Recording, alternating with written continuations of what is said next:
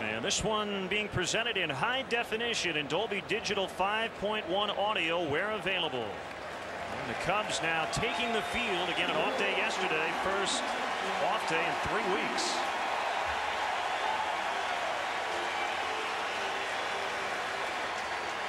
The Red Sox just played a series in St. Louis. Coming off a win Wednesday night. And they dropped two of three to the Cardinals in the rematch of last year's World Series.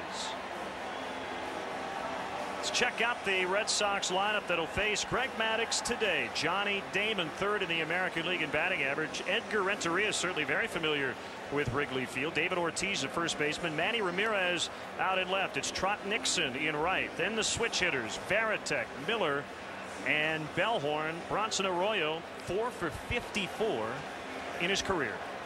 And here's how the Cubs take the field defensively. Brought to you by Pepsi, the official soft drink of Major League Baseball and the Cubs. Todd Walker at second base, a former Red Sox. Go around the infield. Ramirez at third, Perez at short, Lee at first. Three left-handed hitters in the outfield today. Hollandsworth, Patterson, Burnitz, Michael Barrett behind the plate for Greg Maddux. Dusty trying to get as many lefties in the lineup as possible against Bronson Arroyo. Arroyo's held righties to a 170 average this year, while lefties have hit him at a 295 clip. And again, Maddux looking for his third consecutive win.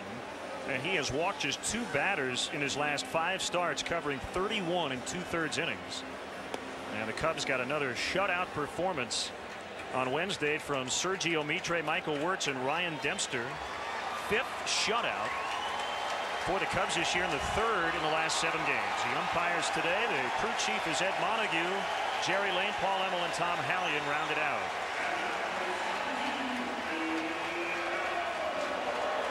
And everybody ready for this one. Damon will dig in 0 for 6 in his career against Greg Maddux who went 4 0 against the Sox as a member of the Braves. And we're underway.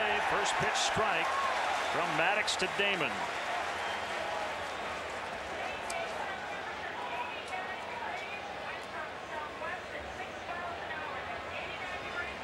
Here comes Maddux again on an 0-1. That one inside.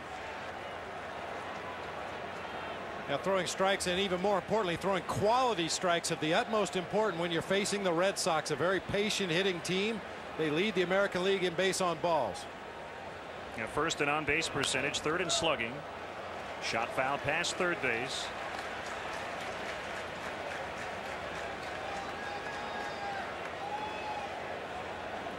The Cubs have outslugged the Red Sox here in the early going. Well, the Red Sox with an on base percentage of 358 and they've scored over 300 runs. Well, they just shattered Johnny Damon's bat. And he's going to go out and pick up the remains of that foul ball. Here, glue this back together, will you? Use it next at bat. Of course, when you were kids, you used to just put a, a nail in there, tape it up with some electrical tape, and keep using it. But I think that one's done. That's going to end up in somebody's souvenir vault.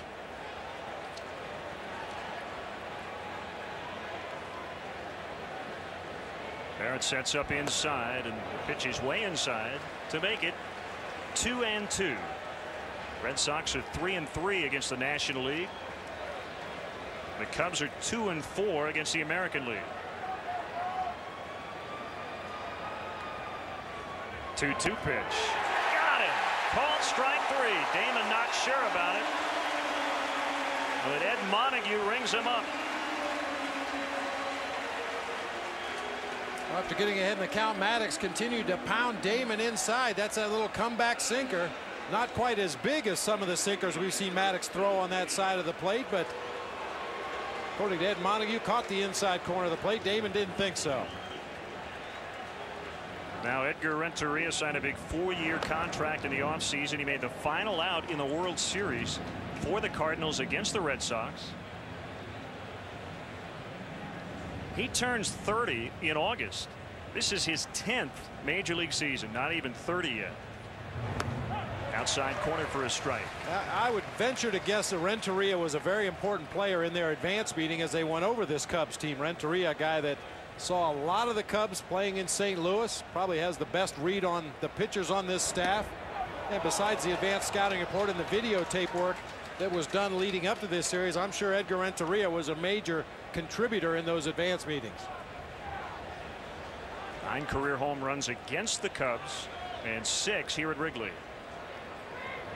2-1 is drilled toward right, but Burnitz will make the catch for the second out.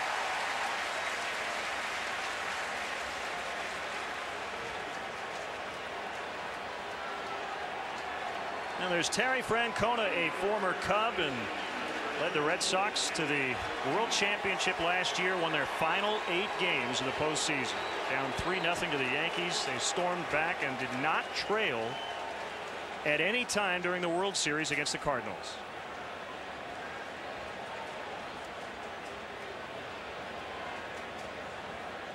And a big reason for the Red Sox title is this guy, David Ortiz. The American League Championship Series MVP, three walk-off hits in the postseason.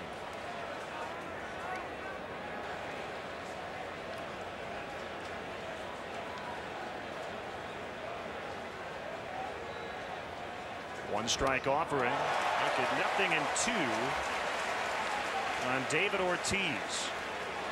See how Maddux goes about finishing off Ortiz here. Generally in an 0-2 count he throws a cut fastball up and in and then comes back with the sinker in the same location. See if he does that to Ortiz.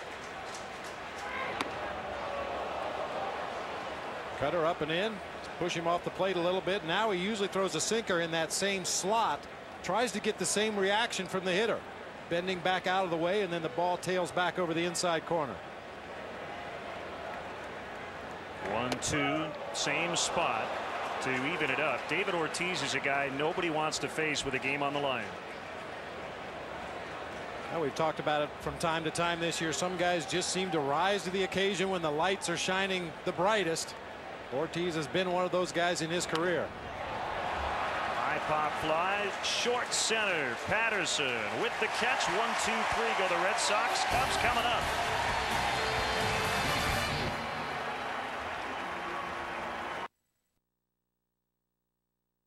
Walgreens Celebrity Bat Kids. Connor Murphy, 10 years old from Elmwood Park, Illinois. 12-year-old Elizabeth Maluta from Naperville. Young Cub fans can get Celebrity Bat Kid contest details in this month's issue of Vine Line.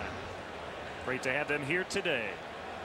And great to have you along with us as Jeromy Burnitz leads off the bottom of the second. Strike one from Bronson Arroyo. Yeah, whoever beats the Yankees, Red Sox fans are very much a fan of. Let's see, the Red Sox are five and four this year against the Yankees.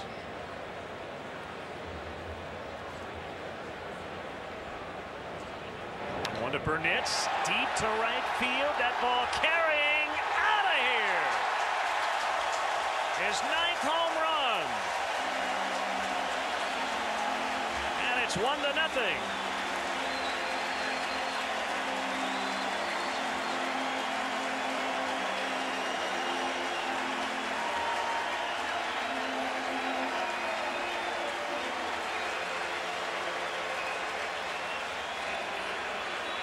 Ninth home run of the season, the seventh here at Wrigley Field. Bernie knows how to endear himself to the hometown fans. It's funny, Len, I was following him up the tunnel as you see our southwest.com. How far did it fly? 360 feet.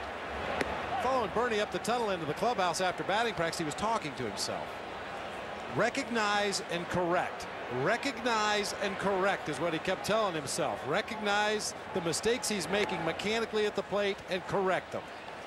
I like that mantra. Recognize and correct. Well, obviously he corrected it that first at bat. no doubt. Got in for defense late on Wednesday, but did not start for just the second time this year. So basically a two full days off. Comes back. It's a home run in his first at bat. Two and one on Aramis. Think over 400 his last 13 games. A couple of former Pirates battling here, Arroyo and Ramirez.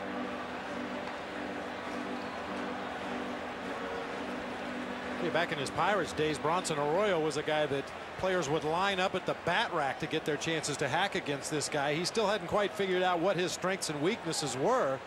Used to try to pitch off of his fastball, which is average at best. 2 2 and rifled in the left. Almost past Manny Ramirez. And Ramos aboard. So a home run and a single greeting Arroyo here in the second. Uh, keep an eye on Manny at all times. He's been known to brain cramp on the bases defensively, running the base, anything. You name it, he'll cramp it up. Of course, they didn't sign him for the glove.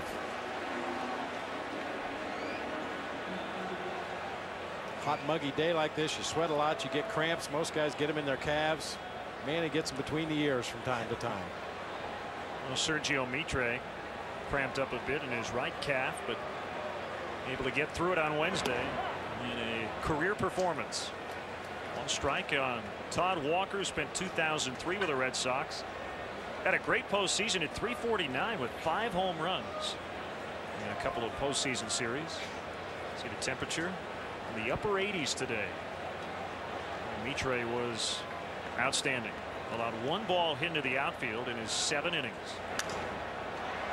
Pop foul by Walker Varitek over near the barrier just behind the dugout.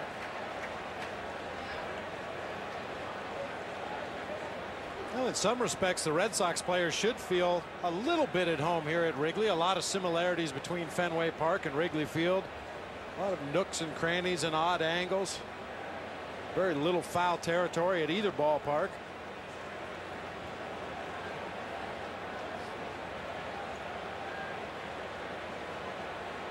Course, a couple of the Red Sox have played here before, so they should be very comfortable at Wrigley.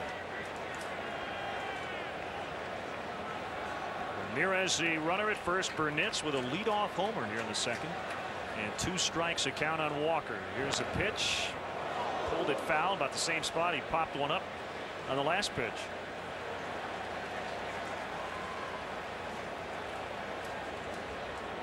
Now Tribune president Dennis Fitzsimons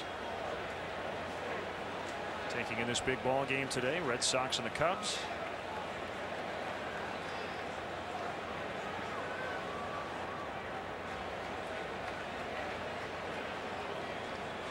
Great shot from top of the scoreboard out in center. Walker strikes out. That's a second strikeout for Arroyo on the first out here in the second inning.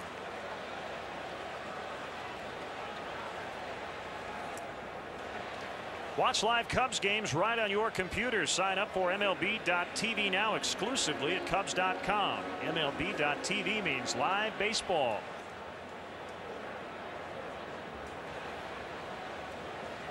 Burnitz with a leadoff homers ninth of the year 74th for the Cubs.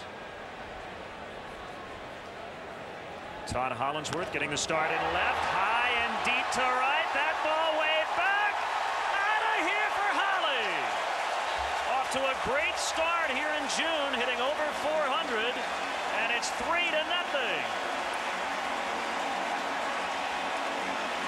Boy he massacred that pitch.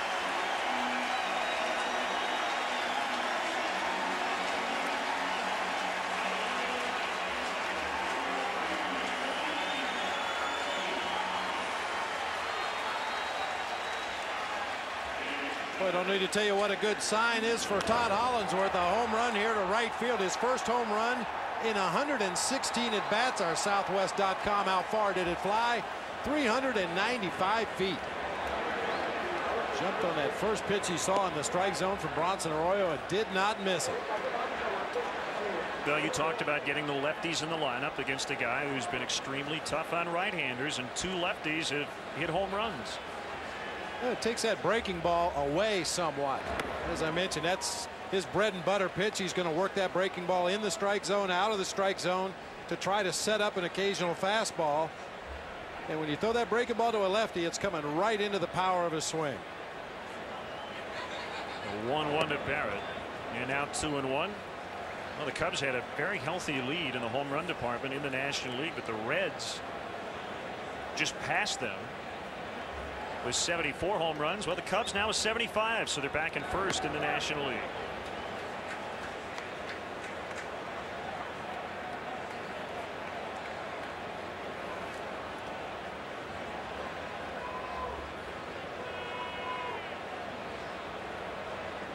Two two to Barrett. Two bouncer past Miller, past Renteria, seeing eye single.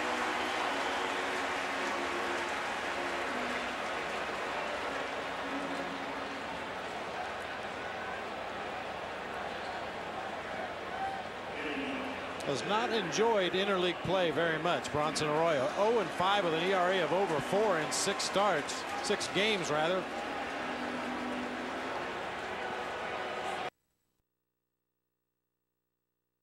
In the city, seven nights a week this fall. WGN Sports coverage of Cubs baseball from Wrigley Field is brought to you by Bud Light. Fresh, smooth, real, it's all here. Bud Light. 1918. Let's see. Cubs Red Sox 87 years of waiting for some revenge. Well again the Cardinals got some revenge on the Red Sox and winning two of three. Cubs trying to win their second straight after losing the first two games on this homestand and it's Corey Patterson batting second today. And a long at bat against Arroyo in the first inning ended up striking out but saw a lot of pitches. Could work to his benefit in this at bat. I doubt if Arroyo has anything that Corey hasn't seen already. Two strikes on Patterson. He'll be followed by Lee and then Burnitz.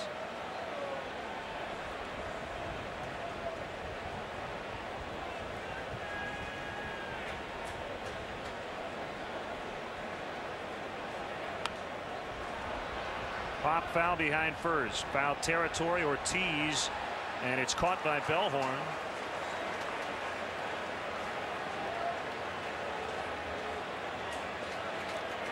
And that'll bring up Derrek Lee leading the National League in two of the three Triple Crown categories. Carl Yastrzemski the last major leaguer to win the Triple Crown back in 67. What a year he had.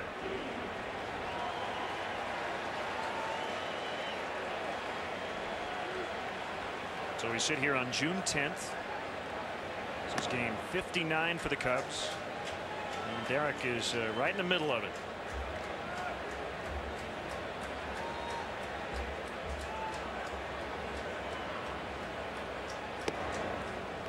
Bob, I know you've heard from a lot of people. I have too about the uh, the voting for the All-Star team.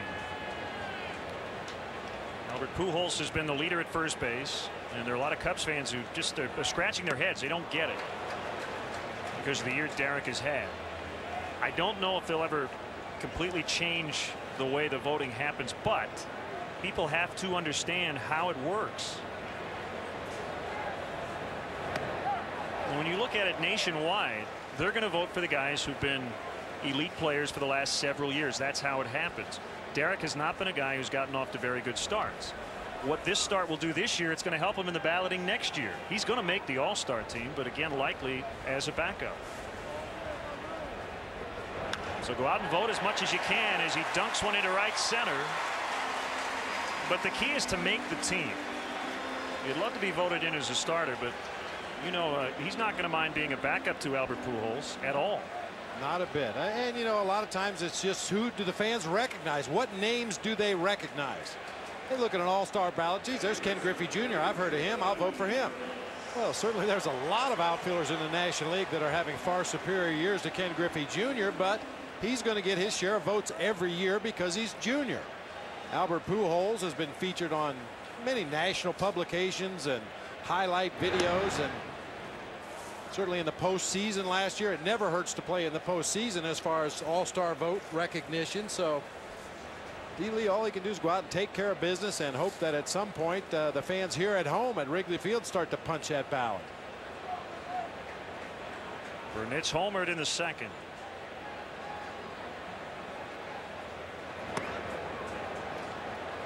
The other interesting thing is, you know, he won the gold glove two years ago. And he's been the same defensive player every year. But he'll have a better chance to win his second gold glove because of his offensive start. again, something else that doesn't seem to make a lot of sense. He should win it every year, regardless of his offense. Pulled foul past Ortiz.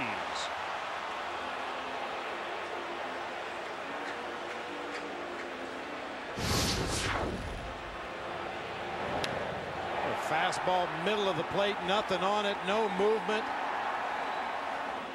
It's a good recipe for a line drive home run to right field. Recognize and correct Jeromy.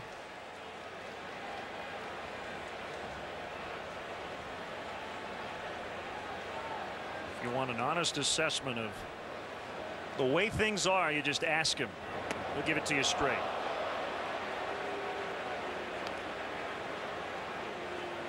How you feeling right now? Terrible. yeah, but you're hitting 300 the last week with four home runs. Just keep plugging away. How you feeling? Great. One for 19. I mean, it, results don't always dictate how you feel as a hitter. Yeah, Michael Barrett said that last night after the ball game. Left center for Burnitz. He's two for two. Well, Michael Barrett said he actually felt better earlier in the season. He thought he was hitting the ball harder, but wasn't getting the base hits. Than he feels right now when he's getting the base hits, but not hitting the ball with as much authority. He gets jammed a little bit, just muscles that ball out into shallow left center field.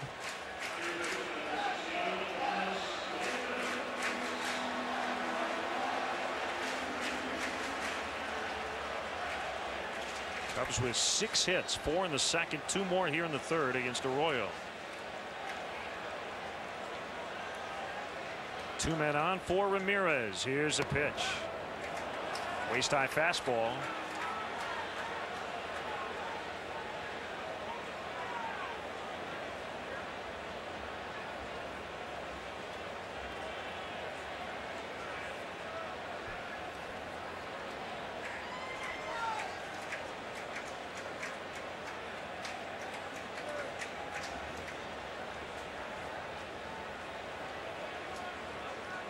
Cubs four games over 500. The Red Sox are five over. Both teams in second place in their respective divisions.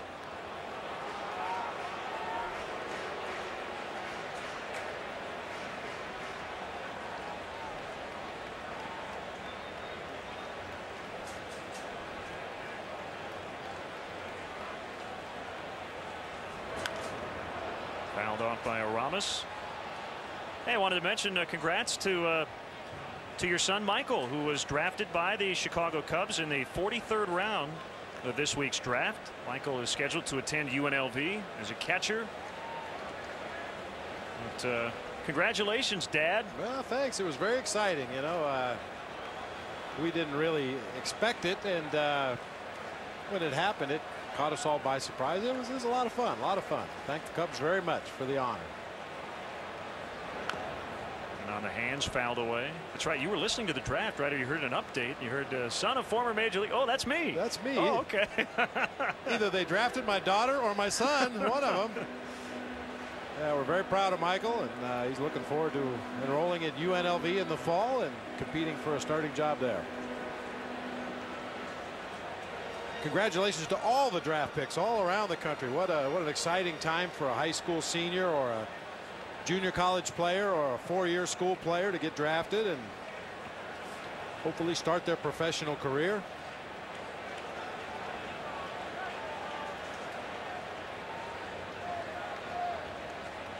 Long look by Arroyo to second. Here's the pitch that stays upstairs.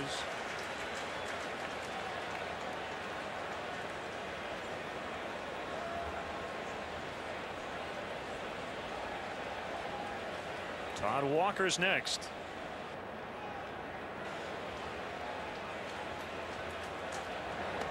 It's behind Aramis, and the runners will move up, and a terrible throw by Varitek. Cubs will get a run. Throw to third. And Burnitz is safe. Derrek Lee scores on a wild throw by Varitek. Boy, heads up base running. That ball didn't get very far away from Varitek, but both runners advanced. Ended up going two bases when it was all said and done. A breaking ball behind Aramis Ramirez that hits off the mid of Jason Varitek. A ill-advised throw right there. Derrek Lee was already starting his slide. That's not the kind of mistake you usually see Varitek make. Just lost sight of that ball a little bit as it went behind Ramirez, and then he recognizes right away that was a bad throw. Wild pitch and then an error. The error on the throw from Varitek. Infield in now. It's 4-1, 2-2 to Ramirez. We'll do it again.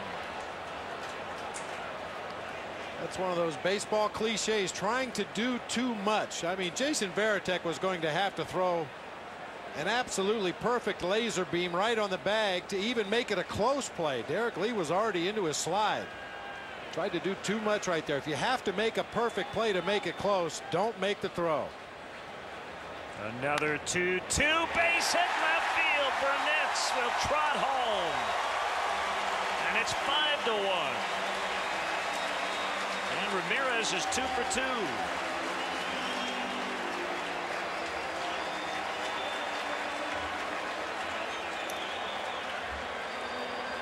Well, the wild pitch alone advancing Derrek Lee to third base was going to force the Red Sox to bring their infield in. They stay in with Burnitz at third base, giving Ramirez just enough of a gap to squirt that ball through the left side. If Renteria is playing at a normal depth, that's a ground ball to short for an easy out. Dave Wallace, a Red Sox pitching coach, is out to chat with Arroyo and Varitek. Three runs in a second on two home runs. Three straight singles, wild pitch and an error, helping the Cubs here in the third.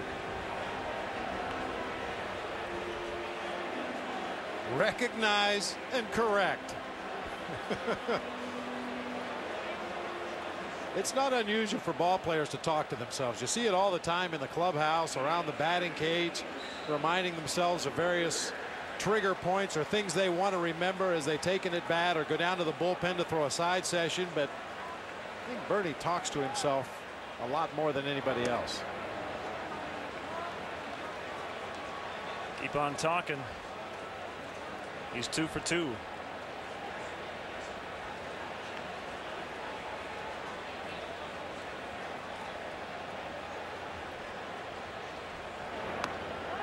Outside corner for a strike. Hey, happy belated birthday to Irene Lively of Alamogordo, New Mexico. She turned 105 on June 4th and never misses a day game here on WGN. Pop foul back our way. So she may remember the the 1918 World Series. Quite possible. Another happy belated birthday to my sister Peg Seckler watching today back Sagamore Hills right outside of Cleveland.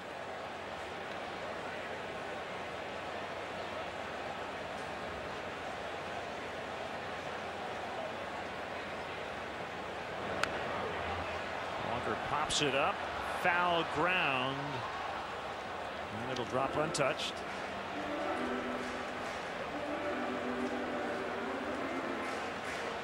There will be a lot of comparisons made likely in all the, the newspaper columns tomorrow here locally about the, the atmosphere here today versus when the Yankees came in a couple of years ago. I just sense a little more and I wasn't here in 03 my guess is there's some camaraderie between the the Red Sox fans and the Cubs fans with all the things we've talked about and the connections. And Walker found that one off himself. Ouch.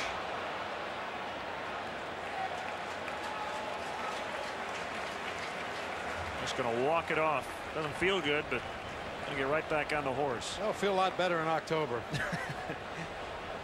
oh, up high on the shin again. That's kind of foul ball that put Todd Hollandsworth on the disabled list for the better part of last season. Up in that shin area. You're used to fouling them off your feet and your ankles, but boy, when you get one that high up on the leg, that's an unexpected shock to the system. Well, Walk may have to borrow that pad for his next at bat. Holly is going to say get your own. I have to wear it every at bat the rest of my career.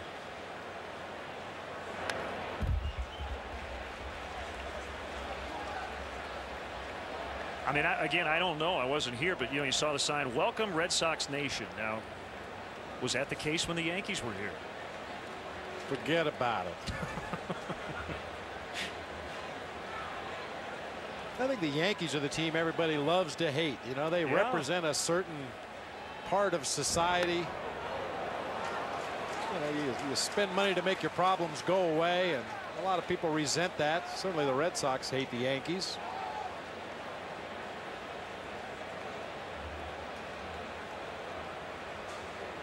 That shared suffering, I think, uh, is what makes them a little more friendly with Red Sox fans than, than with Yankee fans. Into center for Walker. Painful at bat, but it ends up with a base hit at the end. Four straight singles for the Cubs here in the third inning.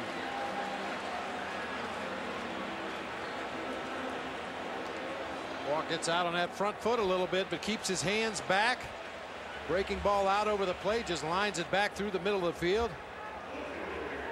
Especially with two strikes, it's not unusual to see a, a batter get all of his weight out on that front foot, but as long as he keeps his hands back into a good hitting position, he can still do something with the pitch.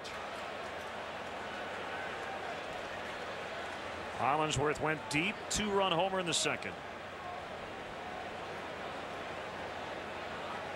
And he's now 8 for 18 here in June.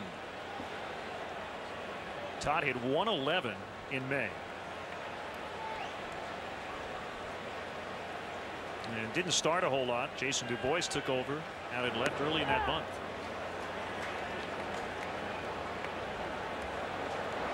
John Halama, lefty, out of the Red Sox bullpen, which has struggled as a group. Four of their six guys have an ERA of over five.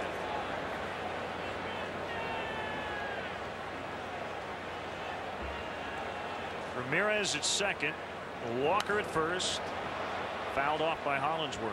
Even Keith Foulke, their closer, he's saved 13 ball games, but has an ERA of just under six.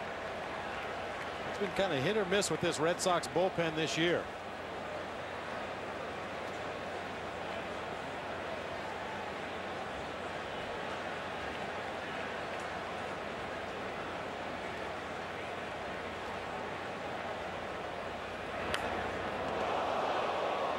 Still two strikes on Hollandsworth.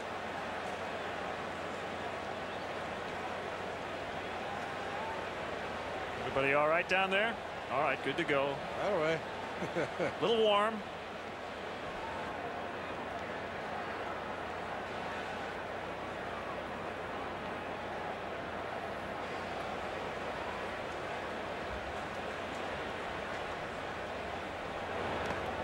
Now one and two.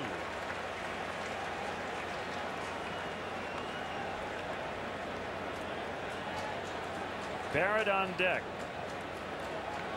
Michael 10 for his last 19.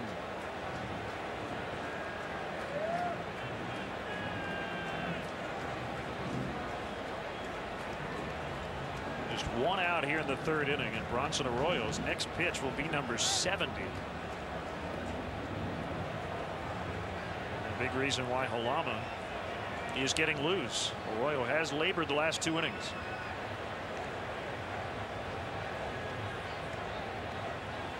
Two to Hollandsworth. Popped up. And Ramirez will make the catch. That breaks a string of four consecutive hits here in this inning. And with two outs, it'll be Barrett. a couple starts ago, Arroyo had a very similar start against Baltimore. Went two and two thirds, gave up 10 hits and seven runs in that ball game.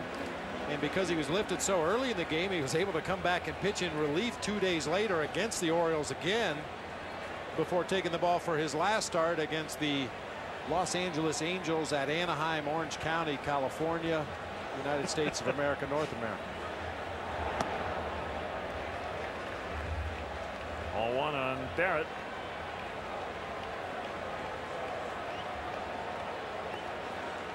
Who, by the way, are really good.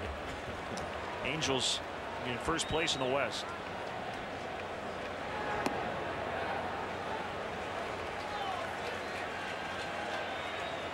If Barrett reaches, Greg Maddux would get an opportunity.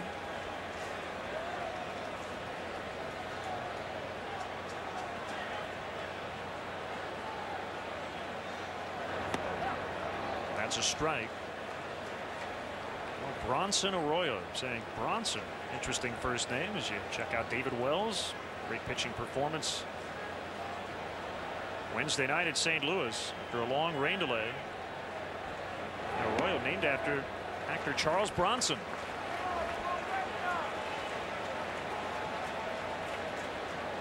It's either that or Arnold Schwarzenegger. they picked Bronson. Thankfully.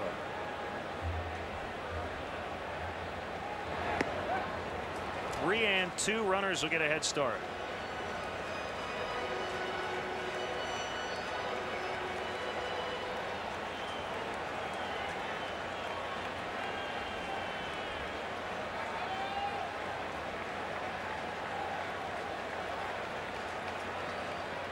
Here's a pitch. High drive. Johnny Damon on the move. Still going.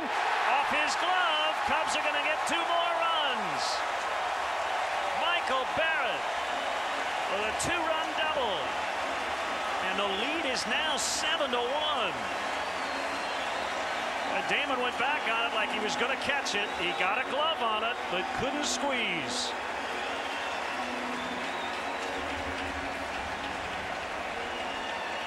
Ball was hit high in the air off the bat of Michael Barrett. Got up above the stadium and really benefited from that pushing wind.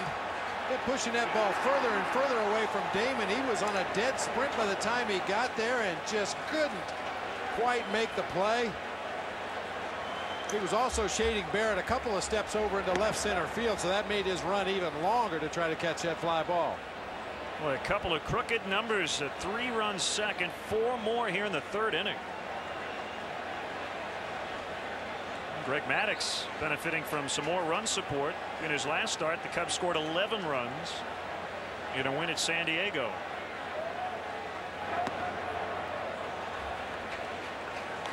Going, if there's a guy who, I mean, just loves a lead like this, I mean, you want Greg Maddux on the hill. You know you're going to get six, maybe solid, seven solid innings out of him.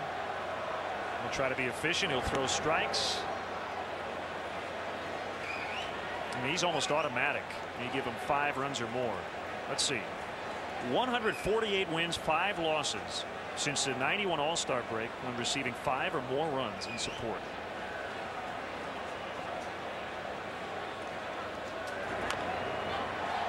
Bounced to Ortiz, and he will step on first. A four-run third inning. Five hits for the Cubs. A big one, the Michael Barrett two-run double, and it's now 7-1 Cubs.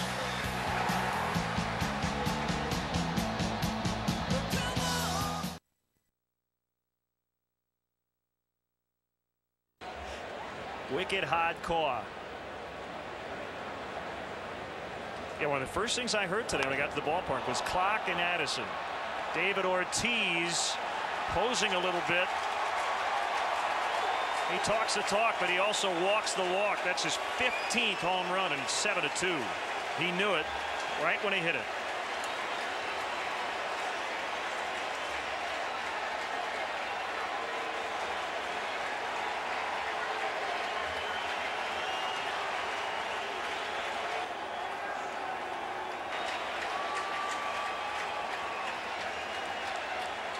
That's a no doubter. Ball up and out over the plate. And pose he does. I didn't see Maddux pose him when he popped him up to right field last time, but David wants to make sure the cameraman have plenty of time to get him in that statuesque pose, his follow through. Swing and a miss by Ramirez. Looking for a fastball and didn't get it.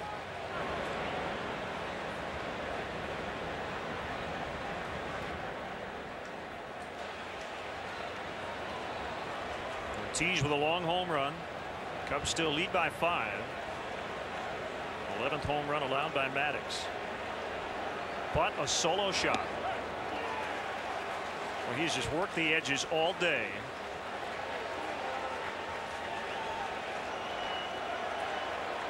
Of course, a guy behind the plate, the crew chief Ed Montague, who's I'm sure has been behind the plate for a lot of Greg Maddux starts.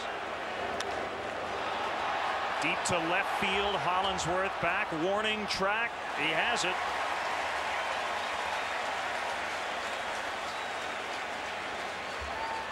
Let's pause briefly for station identification. This is America's home for sports all year round. Superstation WGN. Well, the wind did not hurt. In fact, helped that fly ball a little bit by Manny Ramirez, but it did stay in. Bob Brenly, Len Kasper with you today. Trot Nixon, the batter. Line to right. Burnitz is there. Solo homer by David Ortiz, but the Cubs lead is still healthy.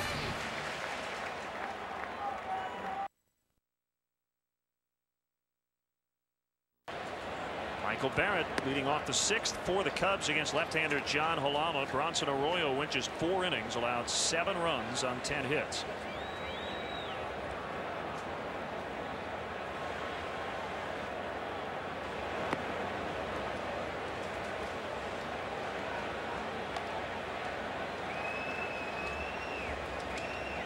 Runs were earned.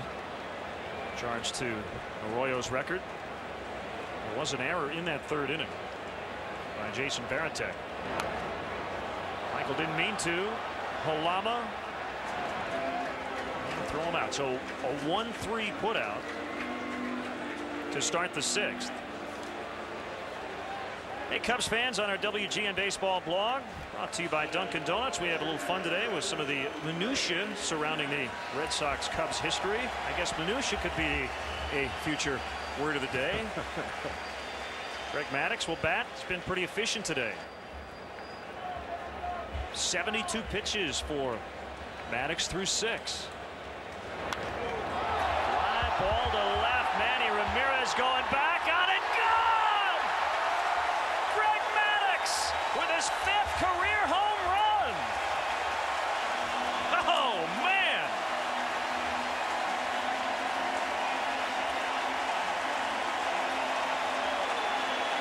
And his first since 1999.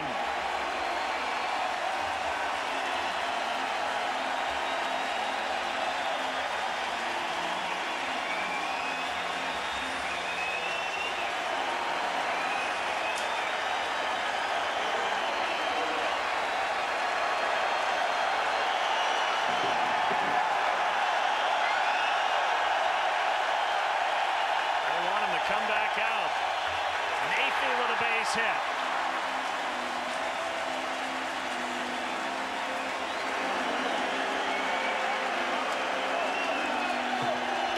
Here he comes.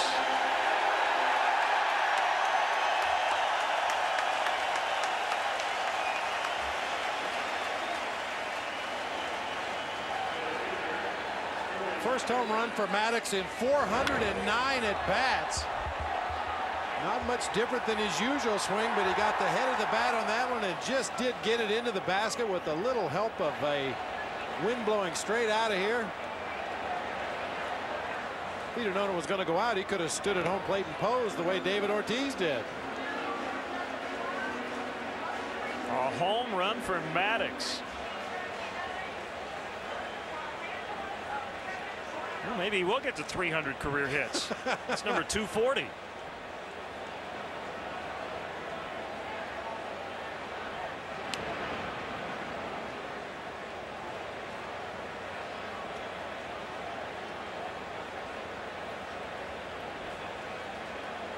Well, it's a big momentum robber as well. The Red Sox got a run of their own in the top half of the inning on that Ortiz home run. We've talked about their high-powered offense, their ability to score runs in bunches, and Maddux comes back and nullifies the Ortiz home run by one of his own. Golfton is short right center. Nixon on the move. Two down.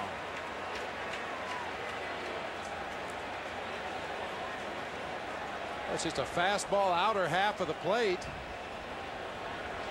Maddux gets a lot of backspin. When he makes good contact with the ball, he has a lot of backspin. I think it's that golf background. He knows how to hit down and through the ball at our southwest.com. How far did it fly? 365 feet. Smiles all up and down that Cubs dugout.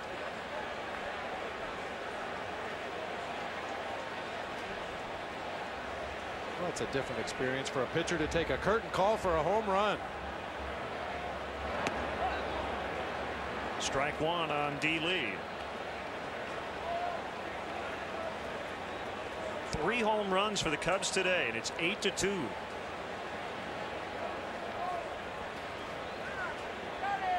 Maddux hit two home runs in 99. Prior to 99, he hadn't homered since 1992.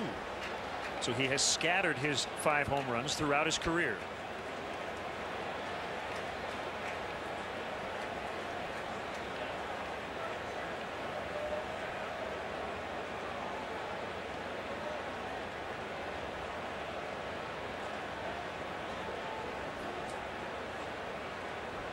Leg kick by Halama.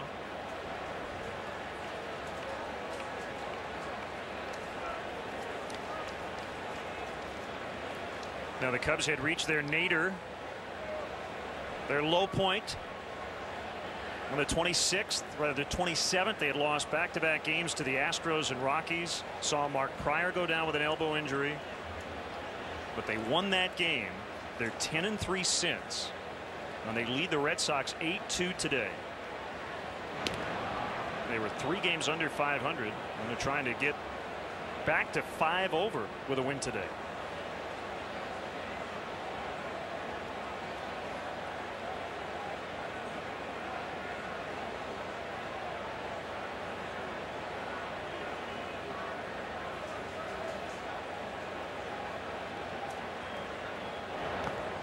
Two and two. It's Jayson Stark, who a uh, baseball columnist who wrote, I think last year, baseball makes no sense. And there are just things that happen in this game that defy an explanation.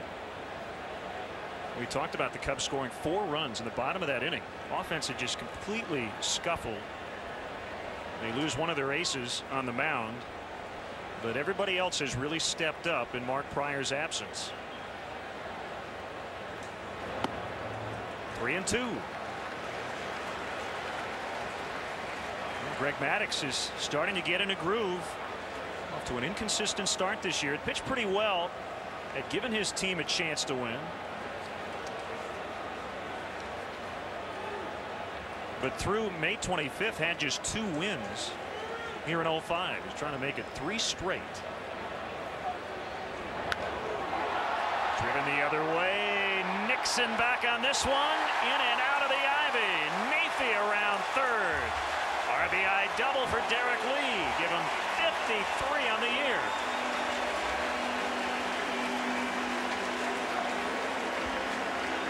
So he's two behind Carlos Lee in the RBI department. He's two for four on the afternoon and punishes a pitcher for going to a full count with two outs. Neifi Perez on the move at first base. I think that's the only way he scores on this double.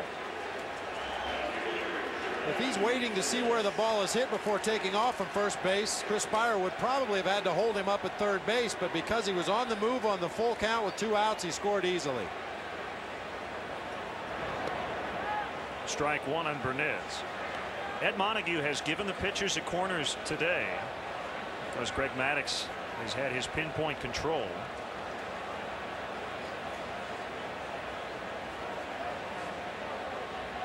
I think most hitters would tell you as long as a guy is consistent, that's okay.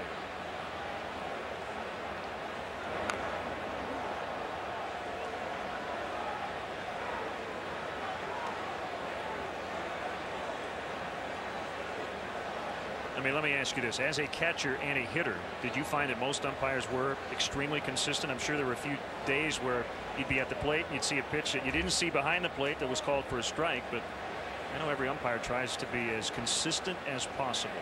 And most of them are very consistent. There are a few exceptions. As inconsistent as you could possibly imagine.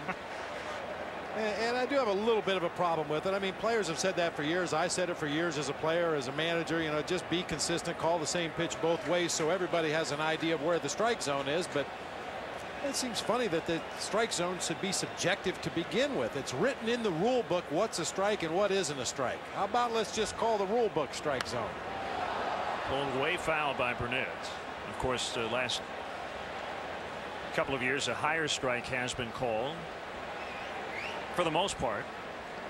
And that's been inconsistent as well. Some of the umpires have taken the heat of the leadership and started calling the higher strikes. Others continue to call what they view as the strike zone.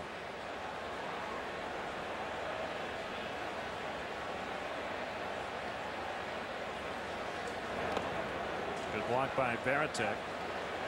If you just imagine the strike zone at about uh, the waist of Jeromy Burnitz. If there's a ball that high, it should be called a strike. But rarely will it be called a strike. Usually about the mid thigh area is about as high as any umpire will go with the strike zone. Occasionally, you may sneak up around belt high or catcher's face mask level. But you never see anything above that called a strike. And according to the rule book, it should be and could be. Wide to right field. That ball deep, way back. Out of here again. Burnitz with a two-homer game.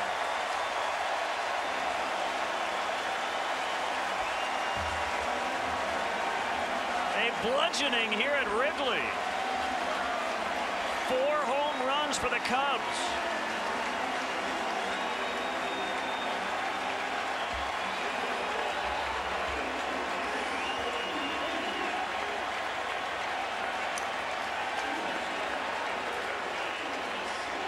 Recognize and correct. Oh, Bernie just staying down and threw that ball head right down the barrel of the bat. Southwest.com. We're going to wear out this logo today. 370 feet. A bludgeoning. You absolutely put it right. Cubs swinging the big bats today.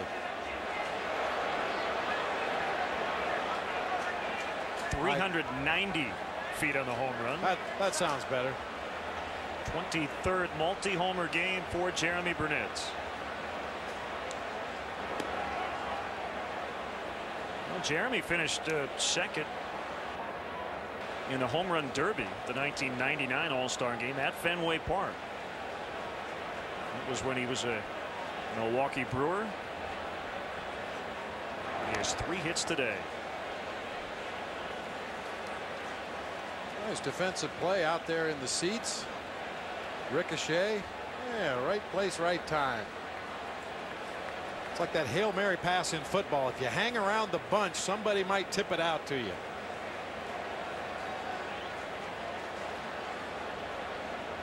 Up against the fence out there in a perfect spot. Halama thought that was strike three. Didn't get the call. Two and two. Maddux with a home run. Here in the sixth inning. Burnitz with two today.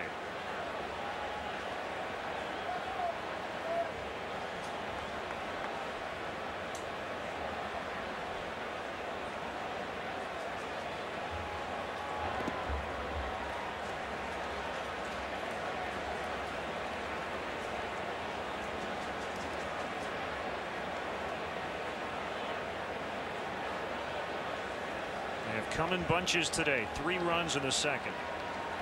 Four in the third. Four more here in the sixth. Pitching coach Dave Wallace on the phone to the bullpen. Ramirez pulls one to left. Not quite high enough to get it out. He's going to try for a double. The relay throw is going to get him. So that'll end the inning. Greg Maddux gets the curtain call after his first home run since 1999. And the Cubs are pouring it on here at Wrigley.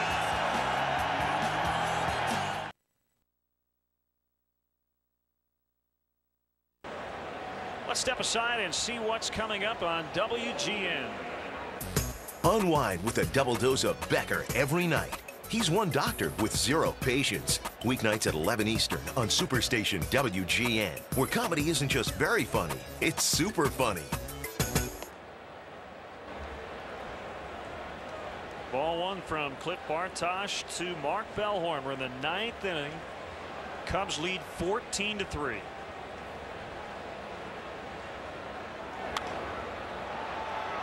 High drive to left. That ball back and gone for Bellhorn against his former team, his third of the year, and it's 14 to 4.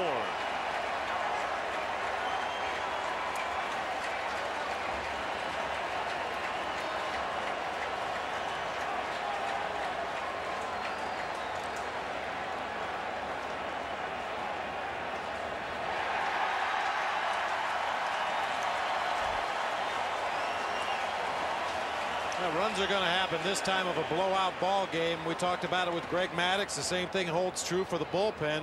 Throw the ball over the plate. Uh, the odds are in your favor. Those players are going to put the ball in play at one of your defenders. But unfortunately, occasionally those balls are going to find gaps or find the seats. That's better than walking a couple of guys and then giving up a three-run bomb. But the thing about it is that guys don't want to give up runs. I mean, yeah, you want them to throw strikes, but even if Cliff Bartosh gets the final three outs, he doesn't want to give up three or four runs.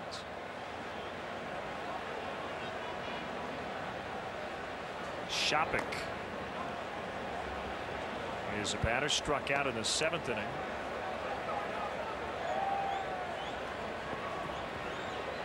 Well, the story of the day today, Bob, offense and a lot of it. Three in the second, four in the third. Greg Maddux with a home run. Just the offense doing everything today. Really took advantage of uh, Bronson Arroyo, who was less than his best today. His breaking ball was kind of sloppy and flat, threw a lot of pitches over the heart of the plate, and the Cubs just didn't miss him. And then carried it right through against the bullpen. Five hits against John Halama, five hits against Alan Embree. Only Mike Timlin was able to come in and bring some semblance of sanity into this game for the Red Sox. Bartosh with a strikeout for the first out. Producer of Chicago Cubs baseball and WGN Sports is Pete Toma. Skip Ellison is our director.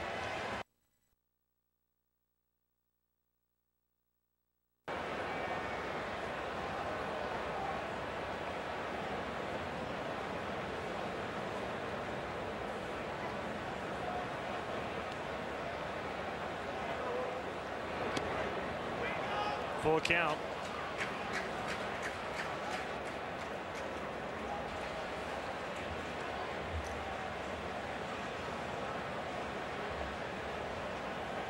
Bartosh with the 3-2 and Olerud walks.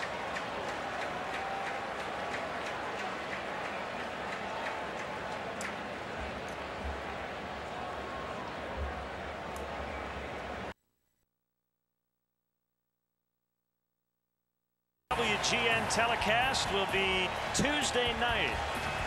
Game two of the upcoming series against the Florida Marlins, who are struggling right now. 7 o'clock Central. Marlins and the Cubs. Tuesday night here on WGN. Two outs here in the ninth inning. And the pitch to David Ortiz misses low and away.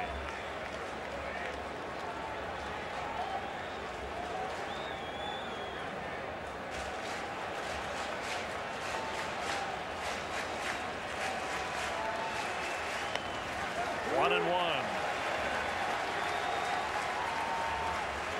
Big shift put on by the Cubs. Three infielders on the right side of second base.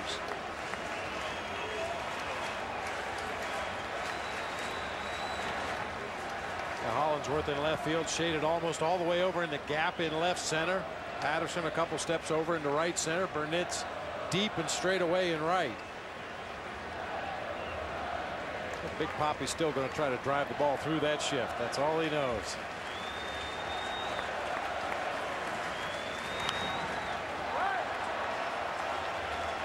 Two and two.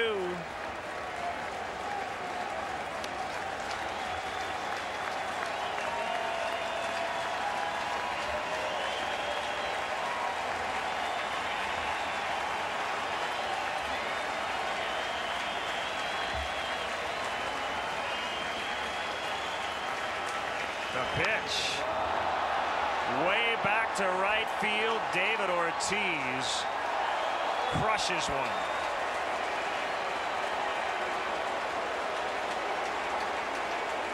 A mammoth blast out of Sheffield. Or, I guess more accurately, over Sheffield. That ball might have short hop Lakeshore Drive.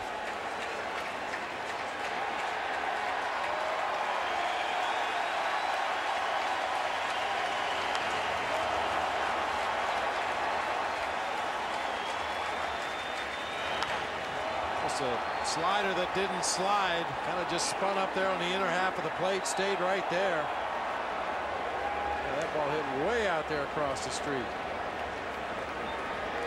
So two home runs for David Ortiz today. And it's 14 to 6.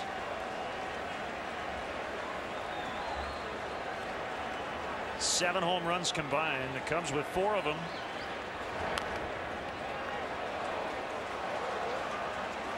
It figured to be that kind of a day. I mean, the wind has been blowing out all day. Batting practice was just a circus out here this afternoon. Both teams just pounding balls out into the street.